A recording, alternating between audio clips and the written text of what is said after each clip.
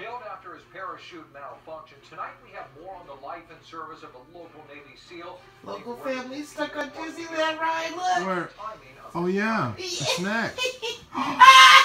Thunder Mountain at Disneyland. And loving it, a local family who got a special behind the scenes look after the ride broke down. Oh my God, frustrating and shock of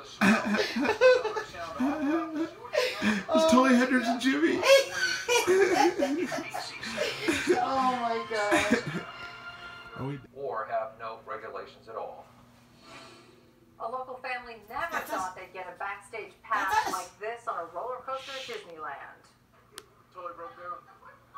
What up?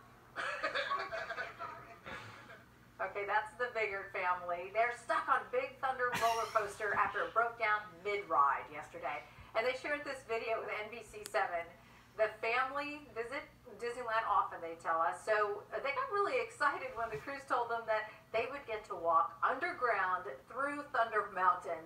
So you see them right there. Now for them, they say this was a once-in-a-lifetime opportunity. I don't know about that. Braver than me, I'd be freaked out. Vacation Okay, memory. Take a look here. Totally broke down. What up? Uh, they have a great attitude about it. So, in order to get off the ride, though, take a look at what they had to do, or what they got to do, depending on how you look at this. They got to walk through Thunder Mountain, something most people have never and will never get to do. We knew something was wrong. As soon as they came out and they told us that we were going to get walked off, like we were like, Kind of yeah. excited. That's better than the ride itself. Well, the, look at their expressions. The Biggarts say that they visit Disneyland pretty often, but something like this does not, as you know, happen every day. Otherwise, it'd make the news. Like this. Good thing. totally broke down.